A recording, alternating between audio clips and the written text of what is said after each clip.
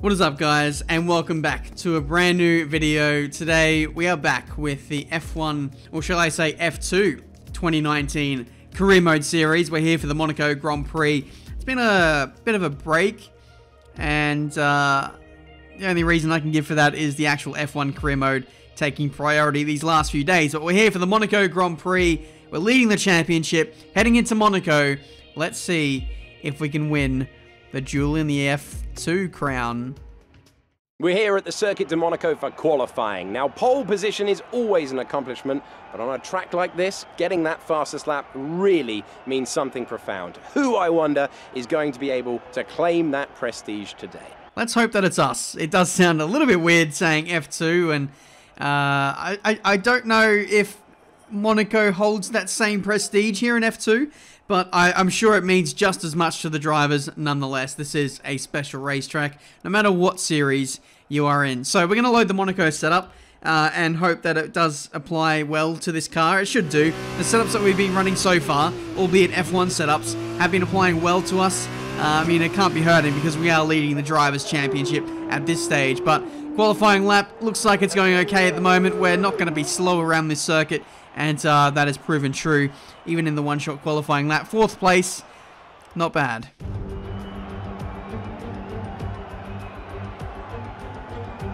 Welcome to one of, if not the most iconic race circuit in Formula 2. A track with absolutely no room for error, a track that requires every bit of skill these young drivers can muster. We're getting ready for lights out here in Monte Carlo. Alongside me today, I'm delighted to welcome back to the commentary box the 2012 GP2 champion, Davide Valsecchi. There looks to be a challenging race ahead of the drivers today, Davide. With that in mind, what are you looking out for today? Well, Alex, I want to see how the drivers at the back of the grid are going to roll down. They'll need to make an impact in the early stages, and they're probably hoping for a bit of luck at the start. We may see some bold maneuvers out there today. Okay, don't try anything silly into one. It's going to be crazy in there. Just do your best to stay out of trouble. And stay out of trouble I will endeavour to do. Welcome to the grid of the Monaco Grand Prix. We've got some rain, and it looks like it's going to dry up towards the end of the race, so hopefully uh, that comes maybe sooner than anticipated, because I don't know what my pace is going to be like in these conditions. Away we go for the feature race of Monaco and it looks like an okay start. A lot of wheel spin in third gear. There's a lot of torque that kind of kicks in at the high end, and that's not only off the start, but you'll notice this as we go throughout this race. Uh, third gear is very, very tricky for myself, but we managed to hold on to our starting position of P3, P4, P4. Um, don't know where I got P3 from. We've got Nicholas Latifi in front of us who is in P3, but at this early stage of the race, just feeling out the conditions, just seeing uh, what the car can or cannot do. And it's certainly can't really do much at this stage. There's this wheel spin for days in the traction zones. Third gear, like I said, is just an absolute nightmare. Uh, in the early stages of this race, I was endeavoring just to short shift early out of second and especially third gear. But when I did that, I was leaving myself a little bit open to Luca Ghiotto behind, especially out of turn one. I was struggling quite a bit there. Uh, pushing the limits with not only the traction, but also the uh, the track limits as well, and we get a warning for that. Also clipping the um, Can Ben win or bottle it corner, Rascasse from a few years ago. Shout out to YouTuber Championship. I put out a tasty little tweet about that today. But anyway, regardless, we are pressing on in this Grand Prix, or at least we're doing our best to do so. We're losing touch with the top three, and um, I feel at this stage the track is starting to get a little bit drier and this may well be the turning point. As you can see, we put in a, a personal best there. It doesn't really count because it was a corner-cutted lap, but uh, I'm starting to find my feet now in this race, and you can see I'm actually starting to break away from the train that I developed behind me, going purple to the middle sector, which is exactly what you want to see. The gap was about three and a half seconds to Latifi ahead. We get ever so close to nudging that outside barrier through the swimming pool chicane. And again, we put in a personal best. We are now starting to close in to the leaders as we lose the back end again in third gear, which is not great. But uh, yeah, we're getting to the point where we need to make a decision on strategy. We can either dive it in early for an undercut on wets, or we could stick it out until maybe the dry tyres are required. We've now got a failure for uh, Nyck de Vries here, I think. I'm not too sure. I think it is Nyck de Vries. So that is an unfortunate uh, retirement from him, and uh, that's not going to do his championship any good. That's only going to help us in our quest to take the F2 title. We move into P3. Virtual safety car is taken away. We've actually got safety car and virtual safety car on this weekend, and that is because uh, the sprint race is now a 50% race. I'm just testing with that to see if I am going to leave that on. But for the moment, it does mean that we can have safety cars now, which could throw an extra element into the mix. Current Okay, cool. So five, ten minutes left of rain. Uh, the tyres are getting on a bit in terms of their wear. I probably could get about three, four laps out of this maximum. Um, but given that Monaco is a much longer lap, and especially in the rain here, it may not be as long as what you think in terms of waiting for the dry tyres. 74% on the front right tyre. This is getting dangerously close to punctured territory, and now we're back into the clutches of Luca Ghiotto from behind, as you can see from the helicopter shot. A brilliant little take on this circuit and how close it is uh, between us and every single barrier, just pushing the limits at every turn. But uh, now we have the leaders in. Uh, Latifi is now in. Uh, Luca Ghiotto dived it in for another set of wet tyres. We've got Nikita Mazepin out of this Grand Prix, and that could spell a safety car, or at least I hope it is. We've now got the call for dry tyres, so we're going to call uh, into the pit lane at the end of this lap now. We've actually hit the wall. Such is the lack of grip in these old wet tyres. But I don't know if that's going to hurt. I don't think it'll hurt us, to be honest, because we've now gained a pit stop over the rest of the field. We'll change the front wing in the pit stop. And we should, in theory, keep the lead of this Grand Prix. Sette Câmara is 10 seconds behind. A pit uh, pit stop for a front wing change will cost us an extra 5 seconds. So this should be okay. Front wing is being changed. Tyres are not though. Tyres are not being changed. That's an issue. I think there's so little people in the pit stop, um, in the pit crew, that they can't do more than one thing at once. And so we've been held massively. That's a 16 second pit stop plus uh, the hold in the lane. So we have not actually held on to, or I don't, I, I, don't know. I feel like we might be under threat here of losing the lead of the Monaco Grand Prix, such as uh, the length of that pit stop. Here comes both of the uh, DAMS drivers for their pit stop. Latifi is having to stack behind his teammate, um, which is not ideal for him. DRS has been disabled, so he came in at the perfect time for our strategy, but Latifi is going to be last at this rate. Absolute calamity uh, for the DAMS team. They were looking at a 1-2 here in Monaco, and now it is it's just going up in smoke for uh, one side of the garage. Sette Câmara rejoins on the circuit, and he takes the lead of the Monaco Grand Prix. My pit stop was so slow because of the front wing change that we lost 10 seconds. More, we lost 15 seconds to, to uh, Sette Câmara. That's unbelievable. Leading by 10 before the pit stop phases, we come out 5 seconds behind. That is amazing that we have lost that much time. The lack of personnel in the pit lane has really cost us there, but now we have to chase down Sette Câmara if we want to win this Monaco Grand Prix. I'm getting more and more in tune with this circuit and with this car and what it can do, and the conditions are only improving as the track, you know, is drying up. Uh, that we're just trading fast laps myself and Sette Câmara every single lap. Whatever he can do, I can do that a little bit better. Um, it is a little bit unfair as when he goes around, I can go around at the same corner and it's a little bit drier for me. So, of course, I'm going to be setting purple laps as opposed to him. But, you know, we are catching him regardless uh, in this Grand Prix. But we're coming up to the last lap of the race. Unfortunately, I got a three second time penalty for corner cutting. But now, since I've already got that penalty, I've got an extra three warnings in the bank that I can use. And I'm just going absolutely ballistic on this last lap. Jeff is telling me about warnings. I do not give a crap. We're trying to chase down Sette Câmara to at least get close, maybe even overtaking him if we can, but there are limits to what we can achieve around this racetrack, and uh, the gap was just too large. It's going to be P2 in the Monaco Grand Prix. Sette Câmara has driven a fantastic race. We have too, but the mistakes at the midpoint of the Grand Prix just proved too much for us to win. I'll take it and I can see our drivers making their way out now. It's been a sublime team performance, and it's the culmination of a lot of hard work. DAMS are your winners today. So well done to Sette Câmara. Um, you know, DAMS, they had it under control. Uh, they just made a big blunder on the strategy. Like, there was like two laps between me putting on the dry tires. I think two laps, but they were. Latifi could have came in on the same lap that I did because DRS got enabled like 20 seconds after I came out of the lane. So there's no excuses, and he ends up in P9, which is an absolute disaster because not only does he miss out on pole for the reverse grid race, but he'll be starting from P9 in the next race too. Unbelievable. We'll be on the front row. No, we won't be. We'll be P7 for the reverse grid race. So we're going to have some overtaking to do in the sprint race. So I am very much looking forward to that. Roll on the race.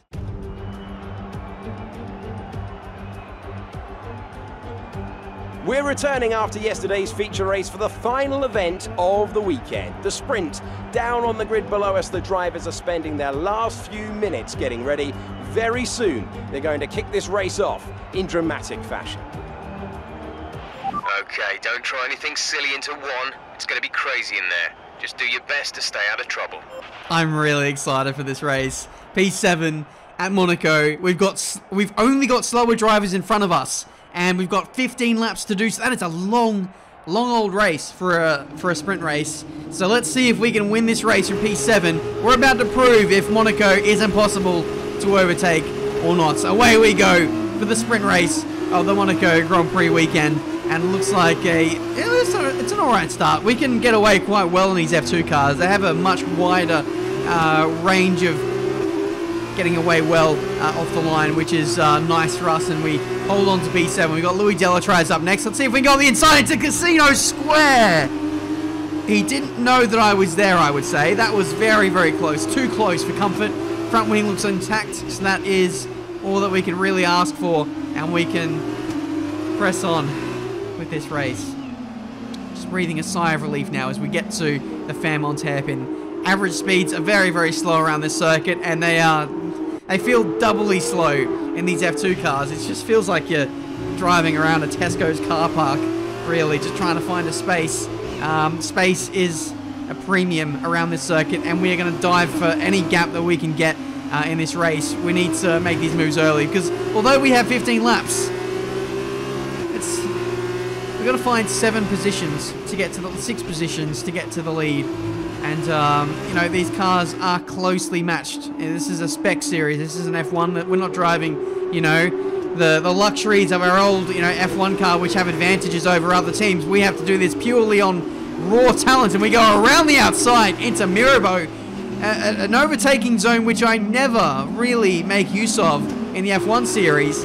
But the AI seem, or at least my competitors seem, seem to be a little bit slower around this section of the circuit. And we get that done around the outside at Mirabeau, no less, into P6. And now we can set after Mick Schumacher in the Prema. So let's see what we can do. Uh, third sector is uh, obviously the OP sector for us. Uh, in the F1 cars, it's, it seems to be less of an, an advantage here because I, ca I can't really flow through the third sector as well as what I can in an F2 car. You can't actually cut the middle sector, or third sector chicane in these cars because the cars aren't as wide. So um, the average speeds there are a little bit lower. So I have to find other avenues to get these overtakes done. And it looks like it's going to be middle sector, which is an odd one for me because, yeah, like I said, I never really overtake here. But let's see if we can do a dive on Schumacher into uh, Mirabeau once again. This time we take to the inside, a much more conventional route. And that is, in every sense of the word, a dive bomb into into Mirabeau. Um, there is there is a, an element of cooperation that has to be done here by you know the driver in front because if they don't yield here, we crash and uh, we get through for P5. Thank you very much to Mick who is uh, very cooperative in that overtake. Next up is Hubert. Still got 11 laps in this race, so we are making pretty good headway, but I wanted to get past those quicker guys early on so that I could leave myself time um, to, you know, make these moves stick a little bit more effectively uh, as we get closer and closer to the front. It's actually going to get easier to overtake these guys because the, the, the, the, speed gap is, is that much larger. We've got the, you know, back end of the top 10 runners from the feature race uh, yesterday at the front. Um, it's good that we've got past the likes of Louis Deletraz, we've got past Schumacher, now we just need to get past Hubert. And then I think after we get past Hubert, it'll get progressively easier. Ghiotto is no slouch either, but the top three, uh, we are considerably faster than those lots. So um, it's just a case of getting past Hubert now. As you can see on the helicopter shot, getting very, very close into the third sector. We're setting up a move here into Rascasse if we can, diving to the inside. And Hubert does very well uh, under brakes. He just about held on, but the traction that we had on the inside was that much better, and we are through for P4. Is he on board from Hubert? You can see leaving a lot of space. He knew that we were coming. He was looking in mirrors, and we actually squeezed him more than I thought I did. Right up against the wall there. Here's the replay again. Side by side. I squeezed him a little bit too much there, but it was just about clean, and we are through for P4 though this move isn't quite done yet. I thought Hubert was going to come back at me there on the run into turn one. I didn't get a great exit out of the final corner, given that I was kind of pinched on the inside, but we managed to hold on regardless at the halfway stage of this race. Next up is Ghiotto, and we're going to see if we can maybe pull a similar move. We are fairly close as we head into Rascasse, but that would have been a bit reckless, I think. So we'll hold station for now and wait for an opportunity to present itself. Luca looking a little bit slower in the high speed corners as opposed to Hubert as we uh, get a run into the swimming pool chicane and we get the move done around the outside of the most unconventional area of the track. I've never made a, uh, an overtake work there, but we've just made it happen somehow. Ghiotto was just, just had no momentum at the high speed, left the door open, and we took that advantage. It was inside, then it eventually turned to the outside, and we got it done at Rascasse. But uh, wow, what a what, wow. Okay, uh, these F2 cars, although they're pro programmed by the same, you know, the same AI as the F1 cars, just the the characteristics of these F2 cars means that overtaking zones are somewhat different to what we're seeing in F1. Even like, yeah, it's it's mad that uh, we're pulling off moves in the areas that we are. It's uh, it's quite crazy. We set a fast up at the Grand Prix, one minute twenty two point two even though we are tucked in with a bit of traffic. Everyone else is kind of in traffic as well, given the nature of this reverse grid race, but we're making it work for us here. Four laps left to go in this race, and uh, we need to get past Matsushita pretty much now. Do we dive him into Mirabeau? You bet we do. Up the inside. Not quite as dramatic as what we did on Schumacher. It was a bit more of a clinical move this time around. We knew that we uh, had the car advantage, well not the car advantage, but the pace advantage over him and uh, we did it a little bit more calmly this time around. Very close to the barrier as well on the exit of the Nouvelle chicane. Engineer wanting to give me an alternate strategy change, which was exactly the same as the strategy we're running at the moment, which is a no stop as we lose the back end massively uh, exiting Casino Square. But uh, we managed to hold on. Looking for some avenues now on Boschung here, and I hope I haven't uh, butchered that pronunciation. This is for the lead of the race. We're now pressuring him, much like we did to Luca Ghiotto a few laps ago. Does he leave the door open as well into the final chicane? Yes, he does. He cuts the um, a curbing there, and now we have the inside for the Rascasse corner. Very, very narrowly touching there through the penultimate corner, and we are through for the lead of the Monaco Grand Prix. Have you ever, have you ever seen a comeback such as this? Even though it is a reverse grid race, it has been quite quite the overtaking fest. I was hoping that I would get to the lead of this race, but I didn't think I would. I didn't think I'd actually pull it off. But there we go. We're now pushing to see if we can better that fastest lap that we set earlier as we lose the back end in the first sector. Just about held on to that. We'll need to get a replay of that as we exit Casino Square. This is actually quite wild. I don't know where this kind of came from. We were just, we just had a little bit of lock on as we went to um, full acceleration and uh, yeah, we nearly died there. So here's the slow motion replay. This is what really tells it. You can see we just get over the bump there and just too much throttle, too much steering angle at the same time and uh, we had to pull off the mother of all saves to get this done. You can see just how close it was between the, the inside barrier there and our right rear tyre. We just hold on to that and keep going. That has got to be one of the saves of the century. You can see there just how close we actually got to the barrier. And on photo mode, we actually go through the curb. somehow. So that was a lucky escape. We're going to calm it down now and just bring it home for the victory of this sprint race. It's been a it's been quite a chaotic race weekend. All the antics in the feature race, coming back through the field, the the closeness of the barrier just uh, 30 seconds ago, and now we wipe off a bit of our side pod uh, uh, end plate. I'm losing it all now, but thankfully we are not losing the victory of this race. It is P1 in the sprint race. You worked hard for that one. Congratulations. GG. So another fantastic victory for Campos today. Davide, what do you think made the difference here? What a race, Alex. Every so often we get a spectacular like we did today. Less focus on strategy and time management and more on just pushing it to the limits and battling it out for those top positions. I think what we experienced today is evidence of why Formula 2 is continuing to draw into crowds. And expect today's race will definitely be turning a few more heads to the series. I can see them on their way out to the podium now. Campos have come a really long way in this sport, and what a special race this was to see them earn the top spot. It's victory in the sprint race, but we really did have to earn that. From P7 on the grid, we have proven that overtaking is not impossible in Monaco. It was a, a bit of a wayward and a bit of a wild weekend, uh, not only in the in the feature race where we you know, we chipped off our front wing right at the, the crucial moment. That did cost us victory in the end. We lost our front wing again, uh, this time on the last lap. Not so costly, uh, but we come away with a victory. Uh, I think going forward, I do need to calm things down a little bit. Things just got a little bit out of control this weekend.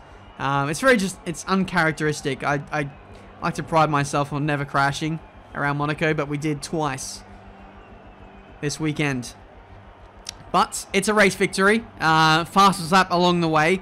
Uh, we will hopefully extend our championship lead over the rest of the field. It's now 31 points. So uh, heading into this weekend, I think it was a 17 point lead, 15 point lead, something like that. We've extended it quite a bit over Luca Ghiotto, who now moves into P2 in the driver's standings. Uh, Sette Câmara couldn't make his way through the field, and that was costly. Uh, P8 for him today. Again, Latifi, not a great race for him as well um, getting caught up after the mistake by his team. That really did cost him, and um, he falls further behind in the standings. But that has been this race weekend of Formula 2 action. Hopefully you guys have enjoyed. Leave a like if you did. Subscribe to the channel if you're new to see plenty more racing game content. Uh, the response so far on this series started off really well, then it kind of dipped down through episodes 2 and 3. So hopefully you guys uh, seeing these in your sub box. I don't know if that's the case or not, but um, if I feel like if this video doesn't do too well in terms of a response, then I think this might be the last episode. But we'll wait and see. I do want to continue this series. I am having a lot of fun and a change of pace, but it may not be to everyone's liking, but that's completely fine. Regardless, thank you so much for watching. Until the next video, I'll see you next time.